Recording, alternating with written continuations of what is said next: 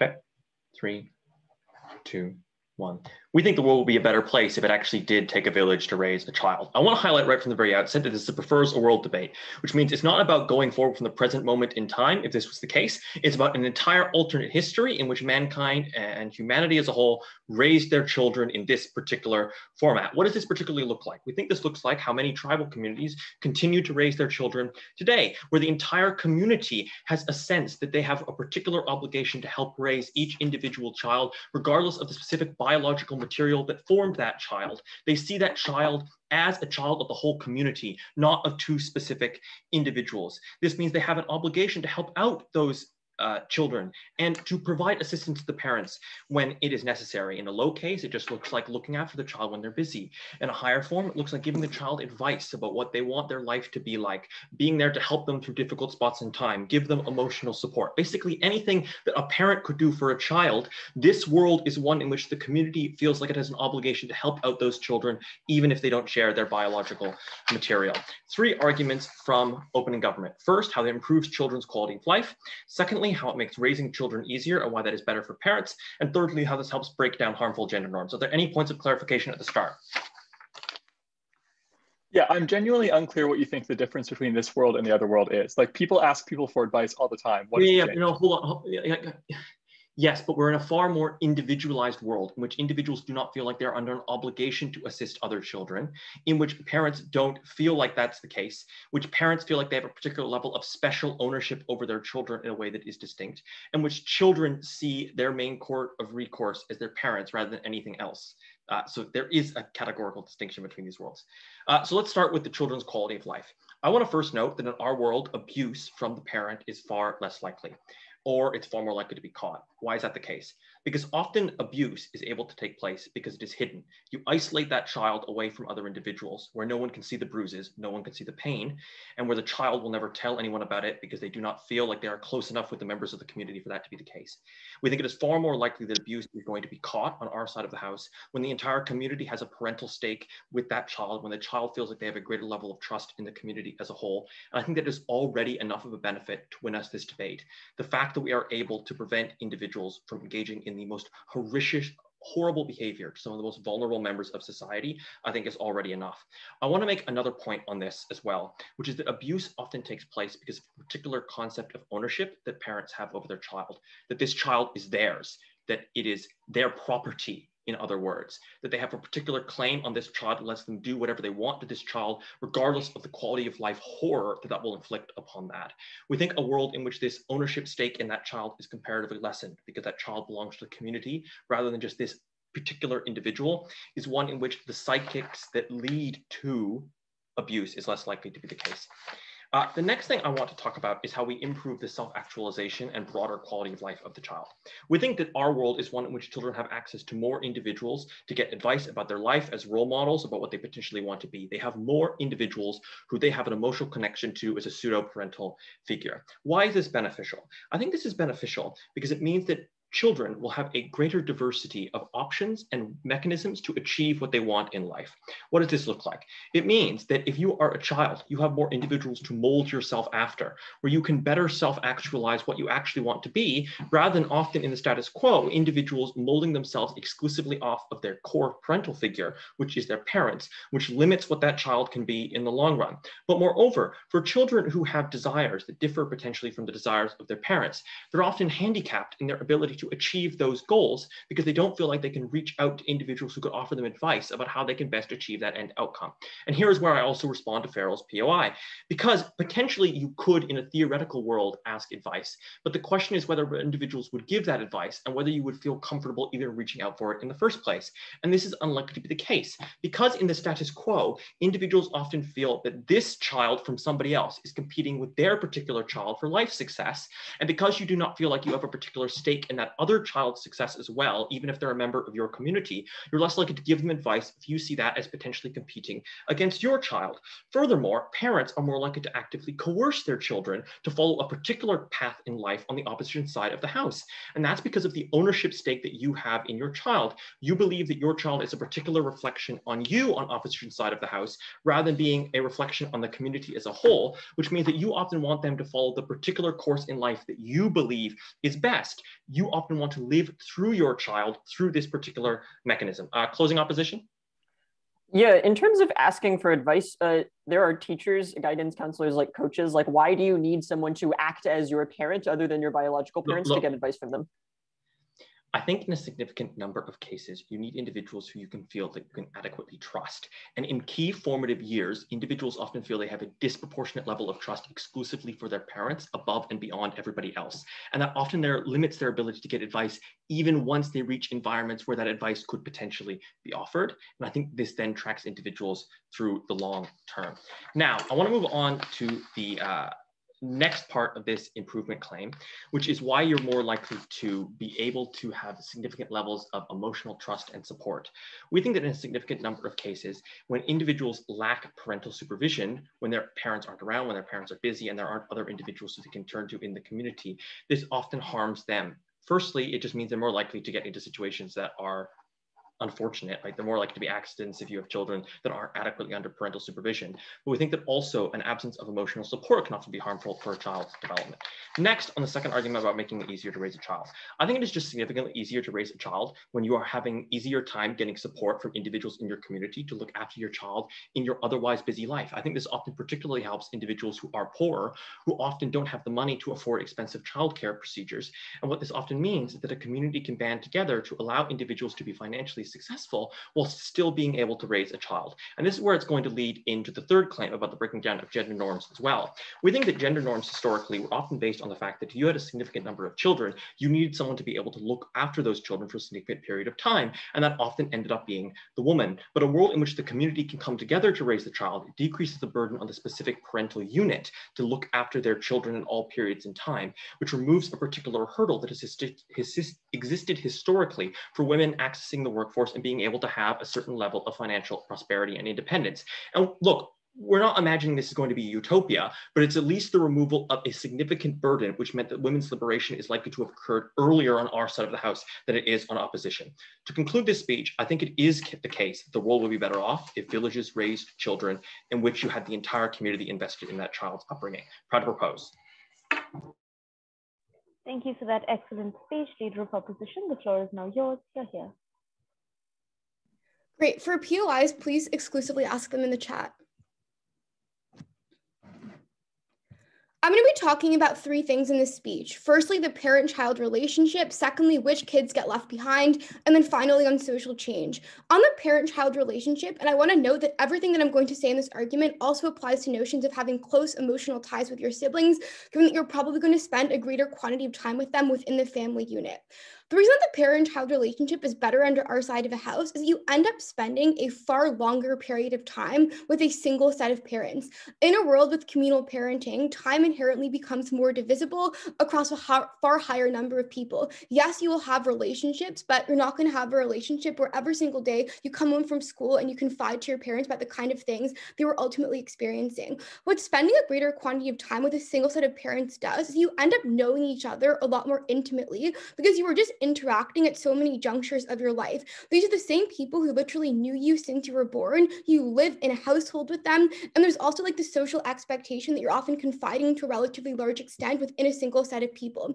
This ends up then doing a couple things. Firstly, you end up getting stronger relationships because you become more attentive to one another's emotional needs. That is to say, when you spend just a greater quantity of time talking to one another, you end up knowing the kind of things that make each other tick. You see what annoys people when it comes to things like conflict resolution. You know when someone else might be emotionally sensitive. So if you know that like your kid is being bullied at school because you spend a greater quantity of time talking to them, you're going to be extra sensitive on those kinds of particular days. So when you just know each other a lot better, it allows you to know each other's triggers, to know each other's insecurities, and to know when other people gravely need love that you're then able to reciprocally fulfill. Secondly, though, I think that kids in particular feel a lot more comfortable confiding information within their parents when they just know each other better when they have that kind of intimate emotional connection. That is when, they, when, when, when isn't the first time you have to be emotionally vulnerable in front of someone when that person has given you support in the past when you feel like someone else truly knows you you're going to feel a lot more likely to actually use that individual as some kind of emotional support network. The conflicting frame that we get coming from the pm is ah but a lot of people suffer terrible abuse in the context of their family and this relationship is something that is that that is exclusive. But i think that their claim about abuse is something that is a lot more marginal in nature. I think that for both biological reasons, just when you get to know someone, a lot of people just do end up loving their kids. And particularly, abuse is something that we weed out under the status quo empirically in a world without communal parenting. In a world where the child parent bond is seen as something that is being important, I think that this actually increases the impetus to weed out forms of abuse because you are seen as failing in terms of what the parental archetype is supposed to be, which is why we do have things like child protection services and the broad norm that if your parents are ultimately being abusive, you can reach out for community help. For impact this, let's take a POI from closing. Um, so this point on trust seems to kind of be not dealing with the first part of the motion, which is that if this were the if this were the world that we lived in, then children would probably have a yes, lower so threshold our for trusting argument others. is not about social norms. Our argument is literally about the quantity of time that you spend with someone, which then exists independently of how socialization ultimately operates. I think that the parent-child relationship should be weighed highly, highly in this round because I think it's very important for people with both their parents and their siblings who also going to spend a greater quantity of time with, have someone who they feel like they can confide in because family often tends to be a much greater constant than like the fickleness of friends who often ebb and flow throughout our life. Second claim, why do I think which kids are going to be left behind in a world where communal parenting ultimately exists? I think that the problem under their side of a house is that community-based norms end up dictating the kind of individuals who are able to acquire access to resources. These are likely to be exclusive for a couple of reasons. Firstly, because resources are increasingly community-based in nature, arguments about who gets increased quantity of help are often going to be utilitarian in nature. That is, who is going to be the smartest and give back more to like the community in the long term, given that there's going to probably be things like an increase of economic resources from the family to the community in order to get the prop model to basically work.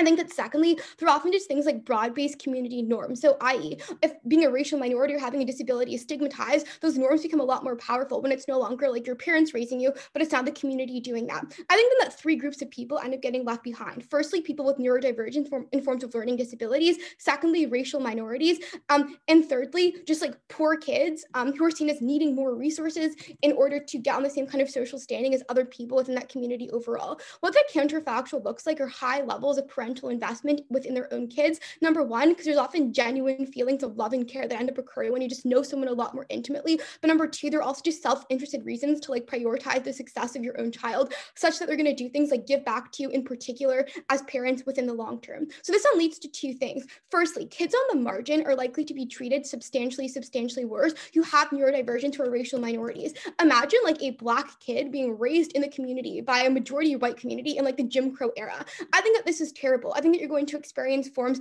of emotional ne- neglect. You're going to be given less opportunities by virtue of your race. I want to know that even if this claim seems marginal, because it's like only people who have X particular trait, a lot of people are experience forms of marginalization in some dimension of their life. So it does end up applying to a lot of people. But I think that the second impact of this claim is that this is likely to reify power, power hierarchies within society increasingly more. That is, if white kids end up getting an increased quantity of attention, what that means is that these people are given the most opportunity for success and they're more likely to lead that community in the long term. Whereas under our side of the house, even if certain families have less resources, concentrating that into a single child is likely to break down these cycles in the long term. Before I get into our final claim, we'll take another CGPOI.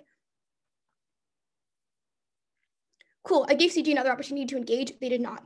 Um, final argument, let's then talk about forms of social change and power dynamics.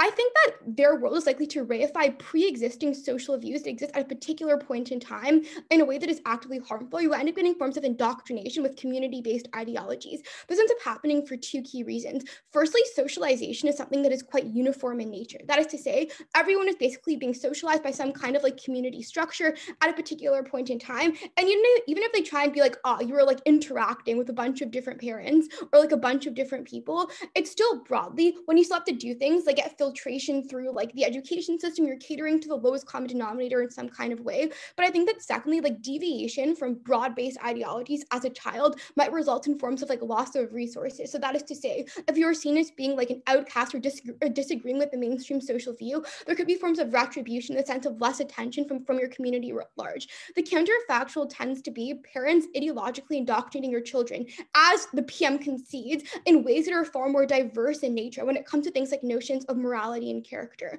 I think that their world is uniquely problematic because who ends up leading community and establishing norms tend to be those that are uniquely privileged and patriarchal. Number one, who is seen as having the most forms of innate genius, but number two, who has economic resources, who like led the community the most. Historically, that tended to be men and privileged stakeholders. Whereas on the counterfactual, parents often have far more intersectional worldviews. What this means then is I think that ideas of gender and and racial equality that, that have increasingly emerged, we're due a lot more to parents indoctrinating this rather than the most privileged actors who, for structural reasons, are likely to lead these communities. For all of these reasons, I'm very proud to stand in opening opposition.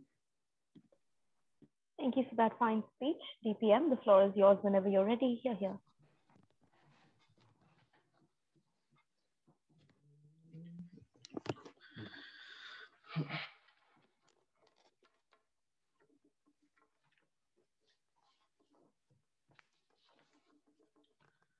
Am I audible? Loud and clear. Cool.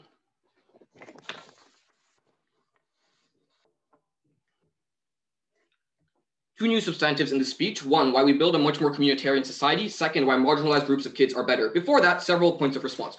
First, if Naomi had bothered to take the second POI as we offered four times, we would have actually answered the question they had about what makes it so different and why you get very special care on our side. The first is that there are a number of norms that mean that your parent is the only one that you are likely to go to in a number of instances. People like teachers and guidance counselors are just fulfilling a job. They often don't want to be there. They think they're being burdened and don't answer these questions. Second, in many instances, even though these advice is theoretically available, competition between kids means that your parent is usually the only one who is able to give you advice. Thirdly, all their stuff about the harms are not only symmetric, but are pushed to the extreme on their side because investment in your own kid means you push them to the extreme. They are the continuation of your family line. So they must get into the top colleges. They got to pursue this career. They have to become the most normal person in that society so they can fit in. And that means their family gets more reputation among their parents. More direct refutation. The first argument is the parent child relationship is better. The first mechanism is you spend more time with your parents and therefore you build trust. I have three responses to this. One, no, you're not imagining the world this works. This is a world where people believe they can be close to everyone. I want to be very clear.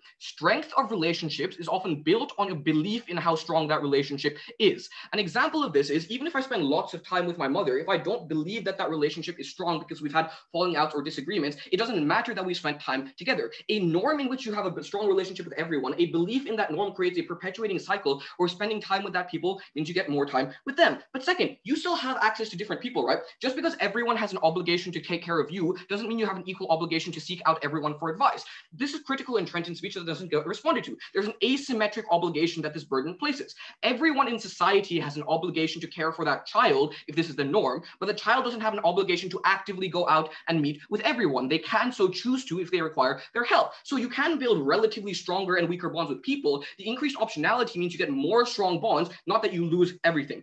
Thirdly, this presumes that everyone is benevolent. Many people are not benevolent. Many people take advantage of this parent-child relationship by saying, I love you, you have to listen to me. And that is a large reason children tolerate abuse because it is a conception that their parents tell them that they're doing this because they love them and this is the best way they can do it. I think this is very common in many families where parents will hit their children and say, I only do this because I love you and this will teach you how to be a better child. The second time is you spend more time with them and you can talk to them more. There's a few problems with this. One, this is often a really bad thing because if you only talk to that parent, you are unlikely to get access to resources and benefits that diverge from that viewpoint. This is particularly harmful. But second, often you fail to do this. If you have a connection with one specific individual, you often fail to tell them really important or embarrassing things that happen to you because you feel like you'll lose credence in your eyes. Think about an embarrassing event that happens to you that you really need advice on, but you're not willing to tell your mom or dad because you think that will make them look down on you more, impose punishment. I think this is a classic example we can all relate to where we would rather speak to an uncle or an aunt or a distant relative than our immediate family members because of the level of credence we place with them. We take that effect and amplify it to the max where you can still have stronger linkages with people that you talk to,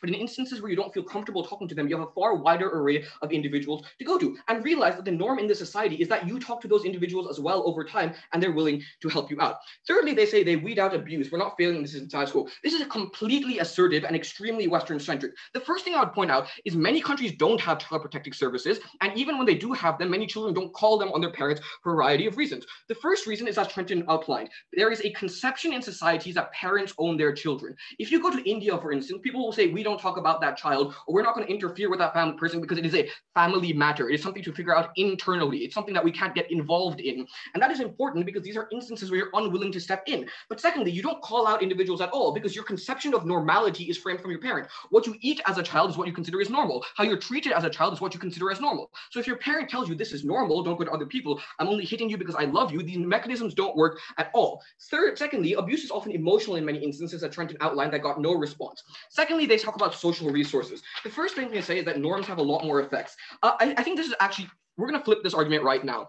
Things like norms have much stronger effects on their side. Why? Because you have to you have to deal with other individuals. Before that, I'll take a POI from OO. So when it comes to things like abuse, your family can also gaslight you in unique ways, or sorry, your, your community can by saying things like, I'm the one in this community who loves you most. Look at all these other kids who also love me. And then cycles of abuse can still continue. The, the problem is a question of belief, right? You are more likely to believe that when they're the single source of parental as well. But often the abuse doesn't happen to begin with because you're more scared of getting caught. We affect the solution in two dynamic ways. The second is norms.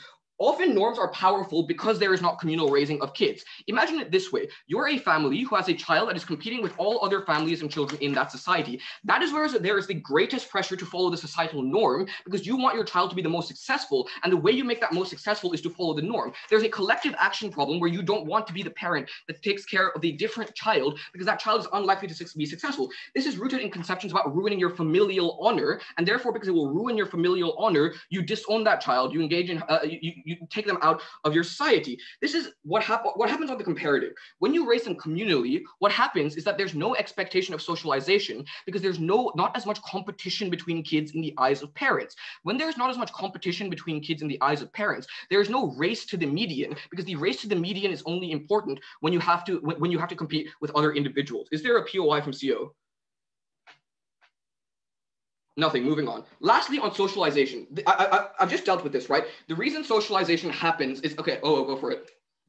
So, given that communities want to try to do this in efficient ways, they often need to try and have common based social services, meaning that all kids are exposed to very similar ideologies. How do you expect? No, no, I got, okay, I got this. They're exposed to similar services like schools and people, but obviously parents are different. And the only reason your conception of a common ideology exists is because there's competition between kids in the status quo, and parents race to the median so that their kid comes out on top because they want them to be the most normal. When there's communal raising, you aren't fear, you don't fear you being outed because child failed the societal standards, society is much more likely to be accepting because there's no individual burden on one kid to be representative of that family as being normal in that society. This deals with all their rebuttal. I just want to note that a lot of the stuff that Trenton talked about in terms of quality of life, self-actualization, and gender norms isn't responded to. You can't just say your case implicitly responds to it. New me mechanism, why you build a much more communitarian society. There are two problems in status quo. Firstly, there's a strong sense of specifically familial tribalism. You seek to engage in resource protection for the purpose of supporting yourself and your family. Second, this is fueled by a collective action problem where giving resources disadvantages you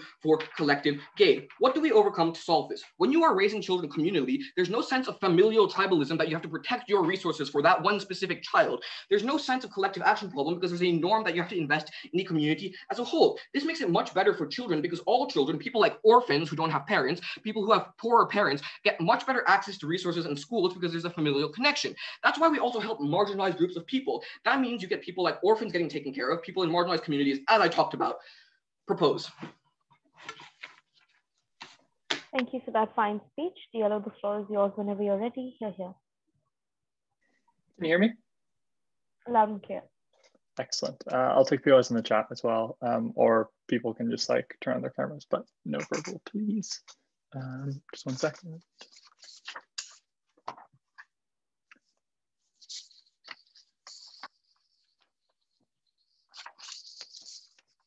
I'm going to start by clarifying their argument on abuse. There are three things to say here. Firstly, this is a massive, massive minority of cases. Secondly, and more importantly, you needed on their side to meet a critical threshold of trust with other people. If you believe that the clash about trust falls to our side of the house, then presumably people are not going to come forward with their abuse in any case. Thirdly, communities often like to cover up things that happen within their community. It would be bad if you do not value abuse and think it is terrible for your community and your communitarian group to come out as abusers. So presumably there's going to be significant cover-ups as exist in communitarian regions in the status quo. But fourthly, abuse is often socially valued in the very cases that Bobby talks about. What this suggests to us is that it's unlikely that people are going to shun abuse in those regions where it's most common. And so the delta of abuse is actually one uh, in, in like the more developed countries uh, where that is typically shunned. Therefore, typically there's not going to be much change there.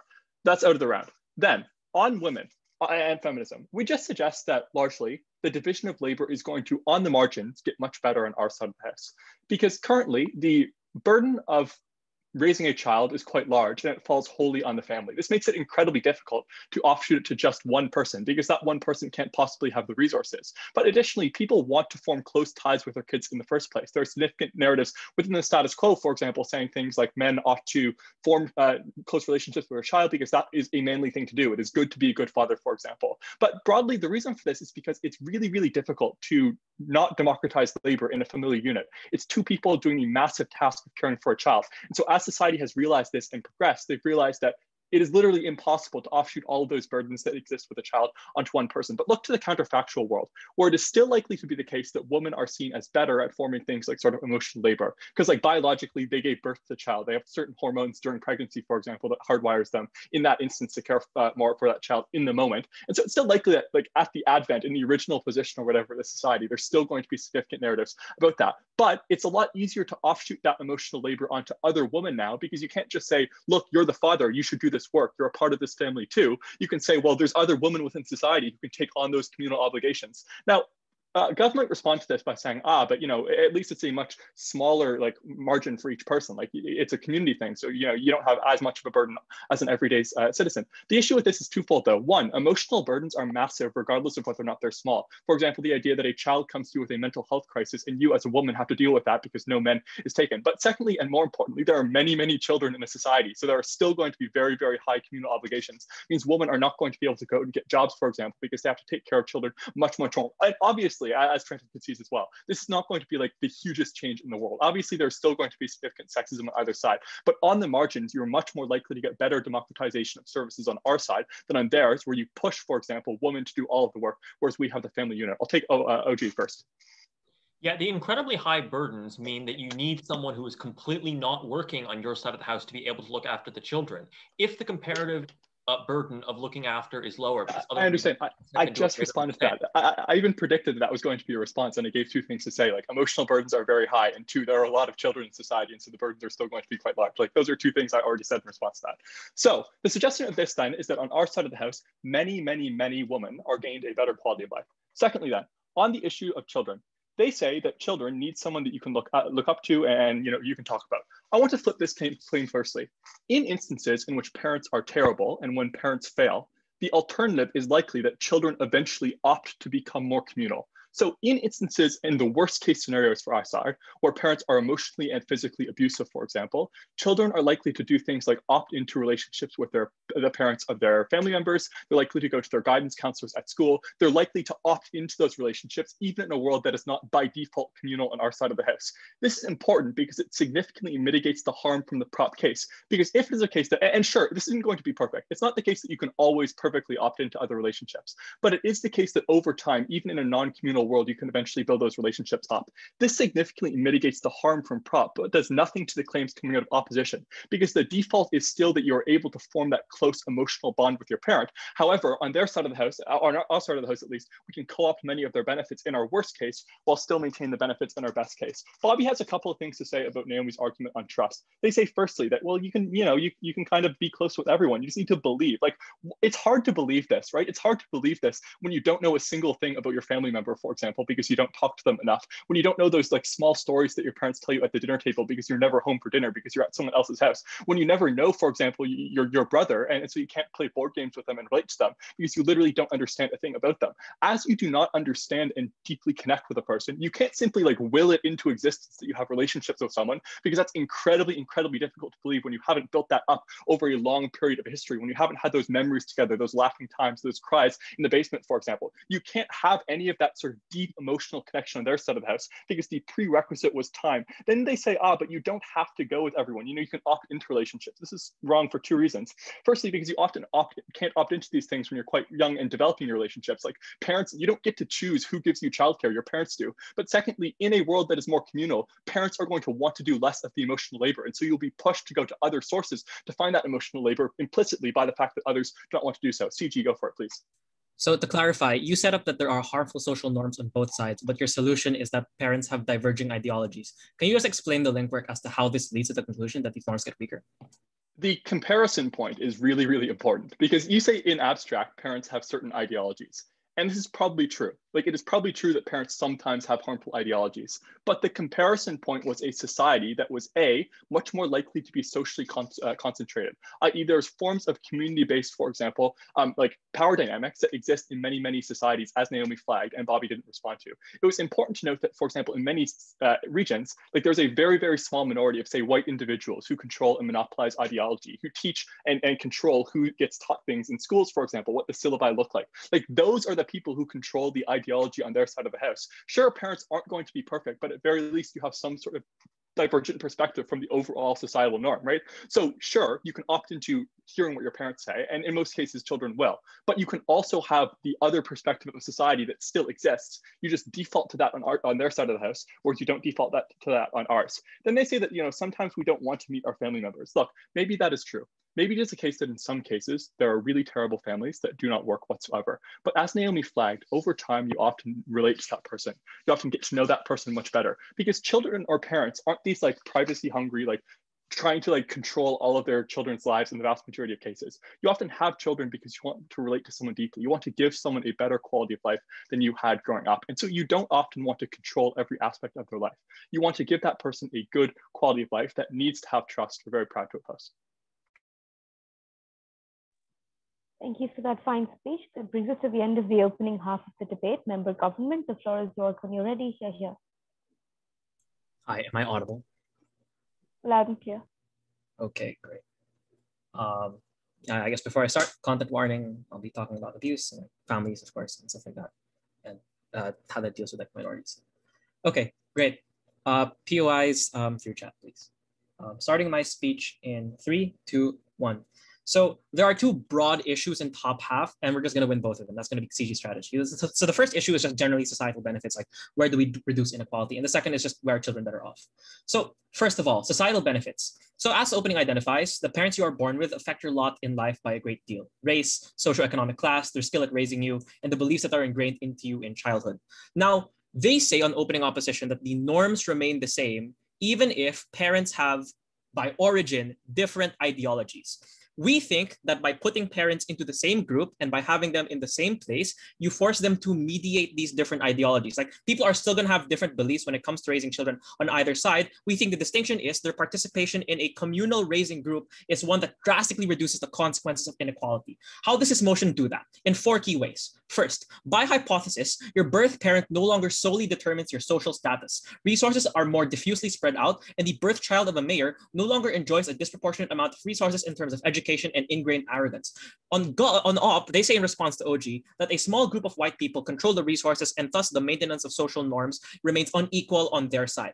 However, the problem is that this argument, that the one that we're introducing in closing government, is prior to the white group of people controlling these norms in the first place because you reduce the incentive for them to group up together in the first place. Like there's no more reason for them to want to keep it in the bloodline and the family if they no longer hold this massive importance on the on the bloodline and on the family in the first place. If it is the case that they see other people who are raised with them in the same community as part of their in group. Secondly, we also think that you massively decrease the closed mindedness of the average individual. You widen the vistas of the average individual, of the average person, where your parents no longer have sole control over who you come into contact with, because not only do they have to negotiate this with other parents who act as sources of authority themselves and like make it harder for you to justify your racist, bigoted beliefs when enjoining them to do certain things, but they're also forced to interact with other races, particularly in other communities or particularly within their own community. So like they have to act, they have to talk to like the child because they live with them. They have to talk to this child that they don't like because of the fact that they'll be staying up with them for the rest of their life. Thirdly, we also think that you substantially reduce the strength of these social norms and this programming. OO says that these norms will massively entrap you and that also you trust less people. We think this is genuinely a good thing because at a face level, since you have less time to entrap people into your ideology, whereby you can leverage this trust to make them believe, even if you have an illogical ideology, the alternative on our side is that pair, you can compare and contrast the different beliefs and norms that parents are trying to bring down onto you, which we think generally speaking is a good thing because it means that children are best able to pick for themselves what ideology and spiritual beliefs best fit their lives. Fourthly, why is this then outframe opening government's material on this? The first thing is because suffering is relative. Your sorrow over your lot in life is determined by how much you feel and deserve. So even if like, I don't know, they have marginally more like benefit or like, I guess happiness from their parent, right? Or skill in being raised by their parents. We think this outframes that point by simply making it such that individuals feel substantially less inequality and are substantially less aggrieved over their station in life. It means that they feel far less existential dread over how they feel about other things for the reason that, as we explained, the suffering you feel in life stems from the relative inequality that you feel. Note that this also frames outframes opening opposition's points in two ways. The first is it outframes their point on widespread norms, because while these norms happen to exist in both societies and are diffused in both societies, since both societies will still have schools, will still have a government that enforces certain laws, and still have a police force that will, that will enforce Jim Crow laws, it is our side that changes who gets to participate within this in group. The distinction is now who the norm considers to be within this in group. The second is on the point on like minorities, in particular the point on women. We think that note this happens still on your side where like families still offload the responsibility on the maids or the helpers or the like other people, right? Or even to the daughter. But we think the difference on our side is that you have considerably more collective bargaining power in the group. Where if you are a woman who feels the need to stand up for herself, you have other people to ally yourself with inside the family, where you have other people that you can talk with and other people that you can collectivize with and generally form a greater force. Whereas if you are in a single family unit, you are alone and have no one to help you with because family business is private. I'll take oh, go. The white men who you concede would have run these communities historically have no incentive to democratize forms of power based on biases about who is most likely to be successful, and they just don't want other people to challenge them. What this means that you're not going to equitably invest, but invest in people who are most proximate to you and who you're able to relate to best. Great. Closing opposition. I'll take your POI now. Given that individuals are still selfish and kids require a lot of resources, there is no reason to believe that they can similarly access things like hobbies or education on your side of the house because it would require people who are not close to them to advocate on their behalf the response to the first one is that it's begging the question. You're assuming that white people are in charge on both sides. The response we gave is that this is prior to that. There's no reason to believe on our side that would be the case, where on your side you could believe that to be the case. The response to the second point is going to be done in the second argument. Second argument, we also this, we believe that we also believe that this stat substantially improves the net quality of life for the average individual. First, it means that there's less abuse. So obviously this is the same impact as opening government. How do we do this better? So their side has the like a soft incentive, which is like the entire community feels at stake and parents no longer feel like they own the kid, which are soft incentives. And while I don't think OOB beats this, they do rightly point out that this is not mutually exclusive. Like communities have bad incentives on both sides, and communities make it like want to cover stuff up on both sides. What our argument will do is explain why it make it becomes harder to cover up and uh, harder to cover up and like hide the consequences of abuse, even if they have the incentive to. So it's harder to do abusive things, even if you wanted to on both sides. First is because since you are in a communal setting, it means that when parents do shitty things to their kids, they have to justify them to other parents. When they say problematic things, or when you beat your kid, it means that there's a substantially higher risk of another person asking what what you want to do, what, what you're doing, and it means it's significantly more likely for them to report it to other individuals. The second thing is that there's a game theory fear for abusers, which is that it only takes a single person to report you, only one child to rat you out. And as such, they become substantially more hesitant to do bad things in the first place, which means that the amount of deterrence increases. Secondly, we also generally think parents are better at raising kids. The first is that individual parents have a substantially lesser investment in their kid, which while counterintuitive actually is a great thing for the average parent. It means that they're far less stressed. It means that the burden of raising an individual child is far less, not just fiscally as what opening government says, since I think O rightly points out again, there are probably community uh, measures of, for communities to distribute these resources and make things easier on parents. It is the actual burden on a parent itself. Like raising a kid can be shitty and abusive at times. A child can say hurtful things, keep you up on for days on end, and make you doubt your ability both as a parent and as a person. This is a massive benefit for parents, but also a massive benefit for children who no longer have to fear experience overworked, overburdened parents that hate them and grow resentful towards them. On weighing, then why is this more important than even OO's point on trust? The first is that their point on increased marginal trust doesn't actually do much. Like, first of all, what happens if your parents are unavailable and simply not in the position to be confided in? But secondly, what happens if you need different kinds of trust? If you need to confide in a parent that doesn't shout at you, but you've got oh, like the two ones you've got still shout at you, right? So you can't, you have nowhere to go. We think the, the diffusion of this trust might mean that there's less benefit for each individual parents, but it also means that in situations where children face massive amounts of abuse, the harm is massively cut off. Additionally, we also think that you massively amplify the benefits towards children in the first place. So we think that their benefits exist when parents are good, but in most cases, as we structurally established, parents are unlikely to be good. At the end of the speech, we do two very, very important things. The first is we take it over top half, and the second thing we do is we argue so much C- CO is out of the round. So for these reasons, affirm. Thanks. Thank you for that fine speech. Member Off the floor is yours whenever you're ready. Here, here. Okay. Uh, can you hear me? Loud and clear. Okay, POIs in the chat, please. Starting in three, two, one. An enormous number of impacts in this round are contingent on parents actually wanting to do good for their children and putting in effort to like do good things for their children.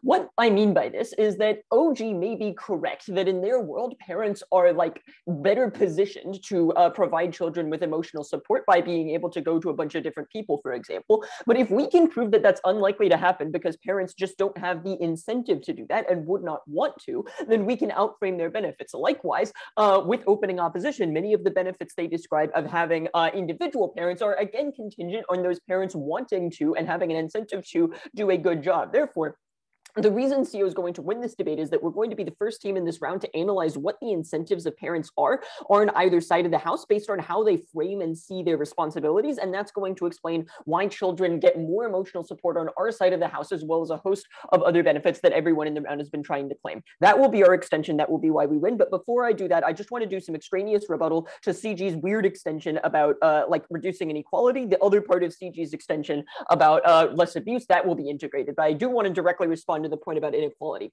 So I just think it is weird to say that uh, like this is prior to like white people controlling all the resources, which is basically like their response to OO correctly, uh, by the way, pointing out in a POI that like uh, uh, uh, that like it would still be the case that white people control all the resources. Like I, I, I just don't think that what this motion consists of is like like literally like the entire city uh, like ra- all raising their children together. Like I just don't think it's the case that there would be much of a reason that like rich people and poor people would be in like the same communal block raising children together.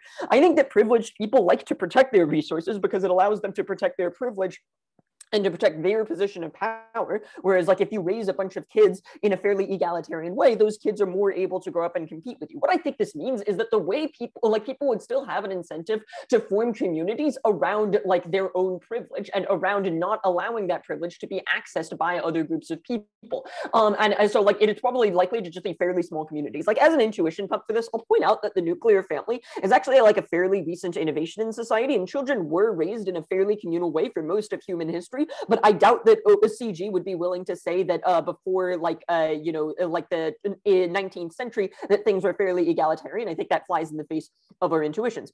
Okay, so let's talk about uh, our extension. Basically, what our extension is, is that in Gov's world, parents would always be passing the buck on to someone else. That there would be no one whose clear responsibility it is to take care of the children, and that this creates enormous problems for making sure that everyone is accounted for. So um, OO talks, uh, so uh, just to like more clearly outframe top half, like OO talks about having worse relationships with your kids uh, because you spend less time with them. I think Gov reasonably responds to this by saying that there would be different norms about how much time needs to be spent in order to form a meaningful relationship.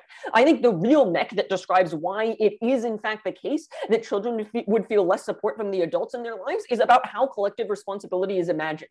Because what this is, is everyone has a vague responsibility to take care of of the kids, but that responsibility is never like clearly elucidated. It is very difficult to come up with a clear, bright line as to where you have or haven't done your responsibility to the community. And it means that people can get away with like vaguely gesturing toward being responsible to their community. You know, maybe they like, uh, you know, have, I, I have trouble picturing exactly how this would look, but like maybe you have like a few kids that uh, like sleep with you sometimes, maybe you, you like feed some of them sometimes, but it's very hard to check on each individual person in the community. Like, are you being supportive to this child? Like which child like feels like they can go to this adult in their life? Which child doesn't have any adult and needs extra help? Moreover people are, have a kind of selfish incentive not to take responsibility when they don't have to because as has been pointed out in top half raising a child is a lot of work and people people don't want to do that work if they don't have to. So at the point where you can always assume, oh, someone else will take care of it. And when you always have plausible deniability because you can do some, but maybe not as much as I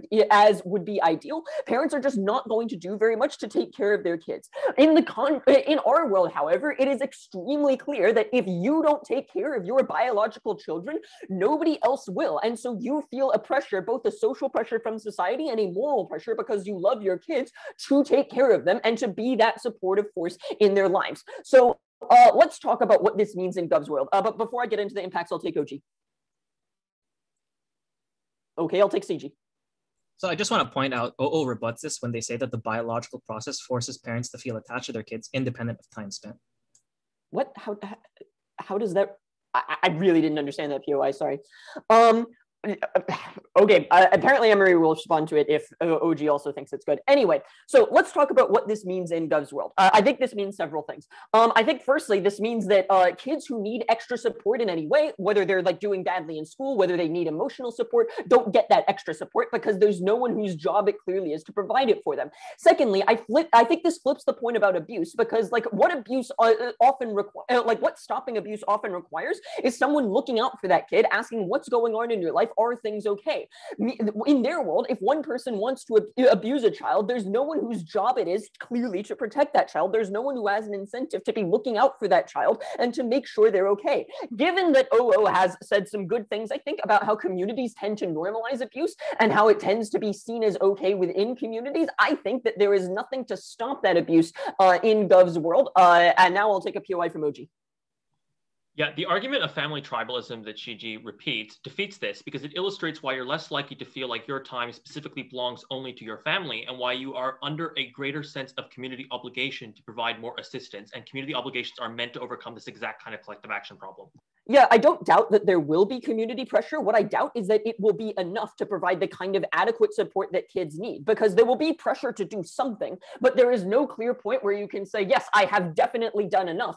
And there and like if there is a situation where kids in general are neglected, there's no one person whose fault that is, meaning that there's no one person who would ever really feel a need to take responsibility for it. I just don't think that tribal pressure where everyone feels some responsibility is enough to get this to happen. Okay, so what else does this mean? I think that in their world, kids will go to each other for emotional support more than the adults in their life because the adults have a collective action problem where they can all get away with being neglectful. I think this is a problem because kids are cruel to each other and not emotionally equipped to support each other. And kids often really like punish kids who don't follow in with norms, meaning that this is another mechanism, I think, stronger than OOs for how we get more enforcement of norms on our side of the house because there's no one to oppose those norms and it is the entire community who is enforcing them. And finally, I just think it means that there is less attention put into kids on net, meaning that there is less focus on like putting the kids through college, less focus on creating generally good conditions for their kids. For example, less conditions, uh, less attention on advocating for them in the school system because there's no one person who cares a ton.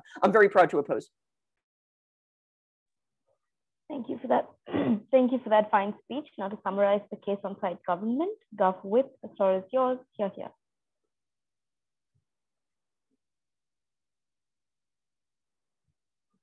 Um, hello, testing microphone. Can I be heard? Yep. All right, thank you. All right. Um, preferred Jennifer on team day. If you have any POIs, you can raise it in the chat. I'll watch the chat for all of your POIs. All right, starting my speech in three, two, one, and go. So this is a debate about reimagining the institution of the family. Families today promote inequality in many ways through political dynasties in public, through economic structures and oligopolies, and through cultural obligations and absolute authority. What we do at Closing Government is not just repeat the tribalism argument of OG, is that we uniquely talk about the social structures that can significantly be improved to reduce inequality even before it can try and spiral and exacerbate in the future. That is the argument we provided to you. It was not rebutted by the previous speaker. They just say we don't have an obligation. We give you many reasons as to why this obligation exists, and I'll go into them right now. So, firstly, I'm going to focus on the incentives for parenting, why the incentives are inherent, and why it's going to be better in our world world to rebut CO. And second, I'm going to talk about what is this world likely to look like and just add some imagination to this debate. Number one, on the incentives for parenting. So again, CO suffers from a lack of imagination for what this world would look like and how it's going to be better. So CO says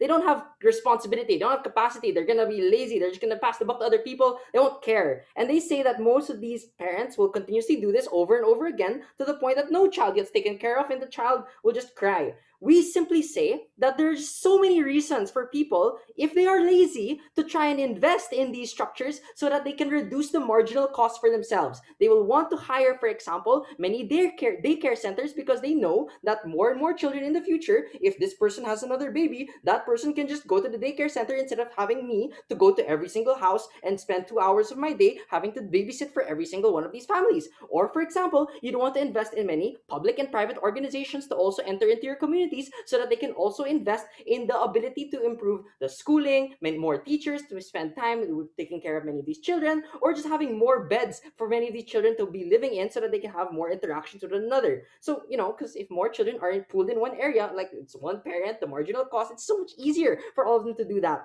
So there are many selfish reasons for parents to opt into these structures. Number one, you may, as opening opposition says, which closing opposition also contradicts, you want your child to have a good life. So you will invest in other other children as well. It's quid pro quo because you have a biological incentive or a biological necessity and attachment that opening opposition talks about. Presumably, if that baby came out of your womb, you probably still have some biological attachment, but the norm is also communitarian to a certain extent. So therefore, you also have some relationships with other people and other mothers. Number two, you want to have a good reputation in society. So therefore, you probably also want to be you know praised in the community. You want to be known as a really good child care and someone who gives really, really good advice. And therefore, that's also symmetric, but also even better in our model when it is actually in the public and also publicized and also transparent. But number three, you were raised by society in the past in this manner, and therefore you will also want to do the same. This obligation is different because when opposition says that, oh no, no, no, no, you can just do that on your own because you, you know, it's, it's your child and you'll take care of the child all the time. The reason as to why this is different is their model on relying on parenting and the good benefits they get from reputation also relies on them doing and being a good parent out in the public. And that is actually even worse because it ties to David's argument that the unique difference of having to publicly display your ability to take care of the community and other children's children and other parents' children, etc.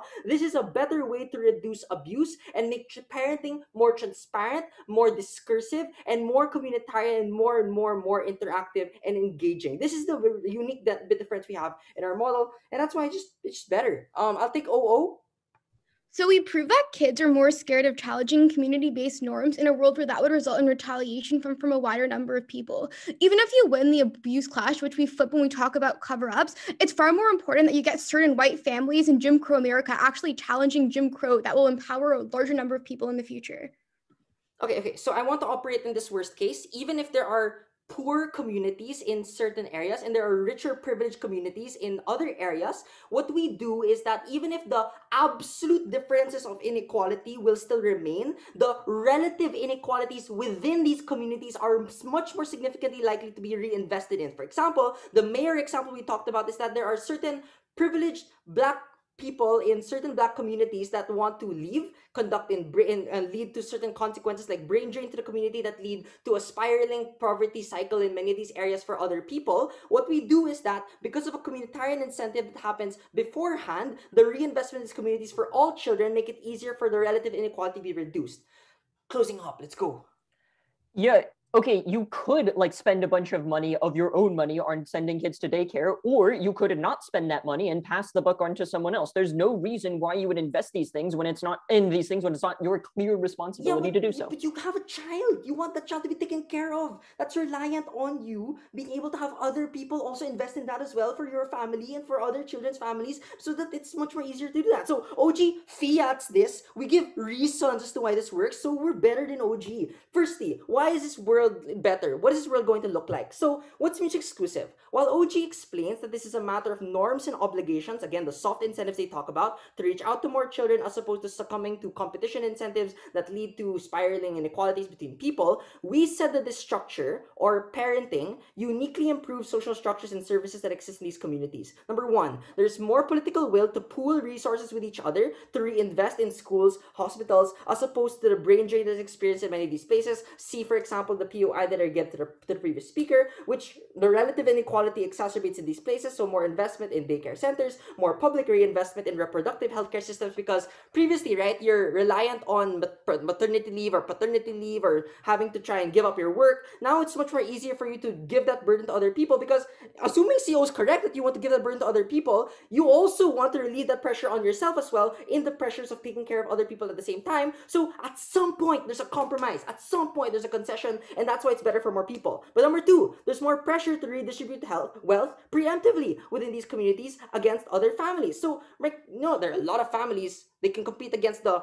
few rich families in these places, and therefore the political will and pressure for them to do so is much more easier for them as opposed to one family having to leave and go to another white community where they're going to be relatively unequal compared to other people, and therefore they will suffer. So they have to compromise with these communities that they are part of. But lastly, there's a stronger ability to publicly contest and criticize these societal structures from the get go when everyone is already going through the same experiences with each other. A demonstration of this, you will argue with each other. You'll say your parenting is wrong. Your, your way you raise that religion, you communicate that religion is also wrong. And therefore, you will public criticism also relies on your reputation to a certain extent for it to be regulated. To the extent that inequality and indoctrination exists on both sides, it is a matter of agency. We provide it to most children, and that's why our world is fairer and more uh, equal for more people and egalitarian. For all this and more, very proud of.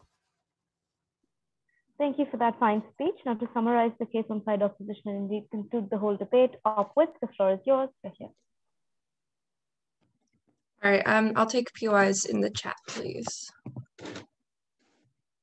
Starting in three, two, one.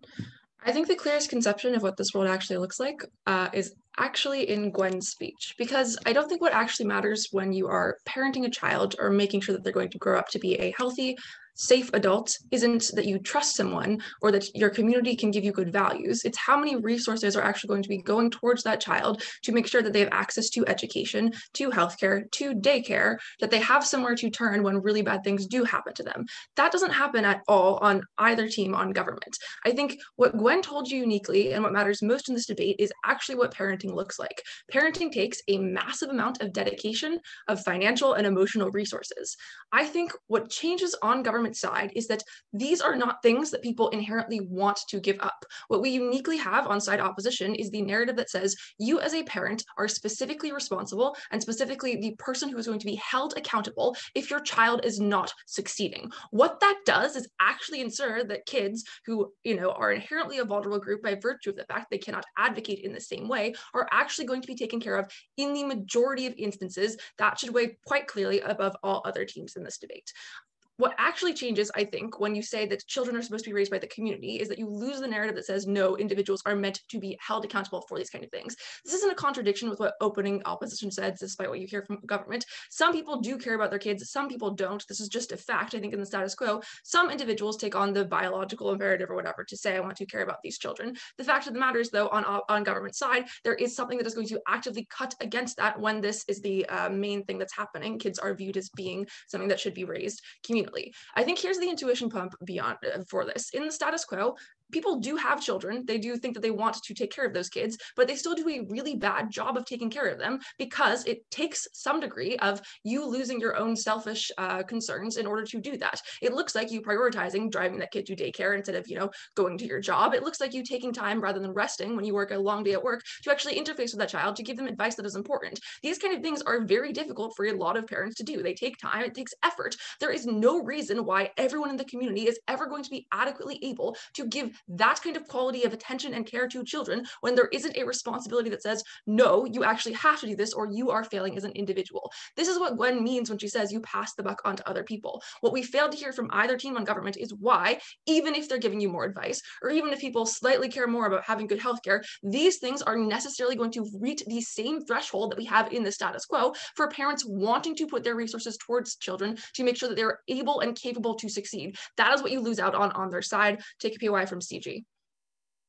So I think this dismisses the material from CG, which is that the effort demanded from the individual parent also decreases. They can pool resources, take days off, and take shifts, which is simply not an option in closing opposition yeah, what you needed to answer though is why, when they can pull those resources, it means they're going to rededicate the time into the child. Because what they're more likely to think is, I can take this time off. Other people can look out for this person. They're probably already getting their needs met, and you move on from believing that you should be held responsible for those things.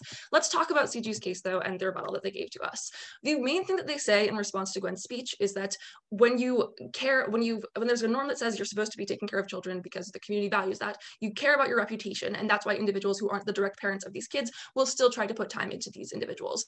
I think there are two things to say in response to this. First of all, wanting to take care of your reputation is not the same thing as the burden of shaping a child's mind and future. I think what this looks like is more shallow level advice, not actually ensuring that person is being taken care of, and more like patting them on the head saying, you're going to be okay, sport, rather than actually doing the emotional labor that it actually takes. The second one is, is if this is the only reason that individuals opt into caregiving, either when they are the actual biological parent of a child or someone who's just in the community, this is never going to be equal care compared to what we get on our side because it's youth saying, I need to do these these things so that I feel good rather than saying everyone believes that it is most important that I, as an individual, am vitally responsible for the well being of this other life. That is far, far different than saying, well, everyone is kind of, you know, accountable for making sure that this kid turns out okay. So I, regardless of whether or not I'm the biological parent, do not need to do as much to ensure that that actually happens. I think, yes, it's true on our side of the house, and we can bite this bullet that government proposes that some kids just do have like worse parents and they're like born the lottery of birth into somewhere that's not going to take as much care of them. But the problem is that there is a norm already on our side, as Gwen tells you, where you can opt out and find other individuals in the community to talk to. You can do that still on their side. The problem is though, you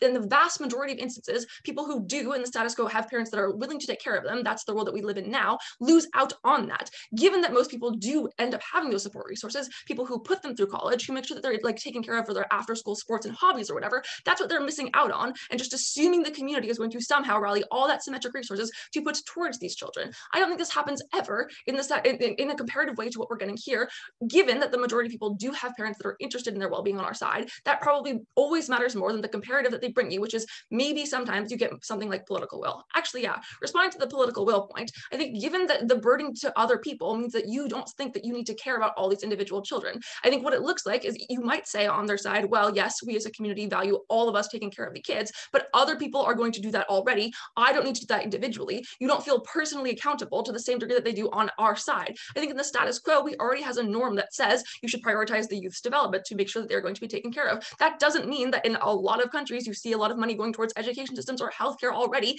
even when they believe that you should be prioritizing healthcare because people are still inherently selfish, don't want to give up their tax dollars to go towards those kind of resources. That needed to prove that happened more on their side. Given we already care about kids, I think it would be happening in the status quo, meaning they don't claim that from their world. Go ahead, OG individuals don't want to invest in children in the status quo because they have to do it all the time, even when it is exceedingly inconvenient. But you're able to prioritize who drives X child when it is maximally convenient for a given member of the community, which even means that when you're looking over a large number of children, it is on aggregate more convenient for these individuals because it is adjusted around their lives to a greater extent. Um, I just, it's okay. So what you're doing there is saying you as the parent now don't have to drive your kid to school as often. And that is somehow going to outweigh the development of a child who then is losing out on a parental figure who's actually going to be, you know, someone who is taking that drive to work and school and talking about the kids, talking about what's going on in the kid's life, making sure that they're actually being taken care of, providing that emotional support system. I don't understand why the convenience that you're prioritizing in that PY outweighs the fact that people are just not going to be caring about the development as often. Let's respond to like the bulk of what they say though on government side. I think the broad point is basically you get more advice sometimes because community members are like looking out for you. People already do that. I think we see a lot of queer kids are still able to find queer adults in their life, ask them for advice. No reason why we should trade off the fact that most kids do have their major support systems in their parents just so that more people are now giving one-off lines about like what you can do in terms of your future to be more happy. In regards to the abuse thing, I think it's just as largely symmetric at the point that parents aren't the only ones who propagate abuse. It happens just as often through authority figures like teachers or respected community members. That goes on still. The delta on their side though that there isn't a specific support network for that child to actually ask for advice because there's no one individual who thinks that they are responsible for making sure that person is taken care of, meaning the child is meant to find someone else on their own to actually ensure they have that support, or they're more likely to be left in the dust. I think what we've done in this debate is prove to you that the most important thing is actually making sure someone's going to be accountable. That only happens in CO. Proud to oppose.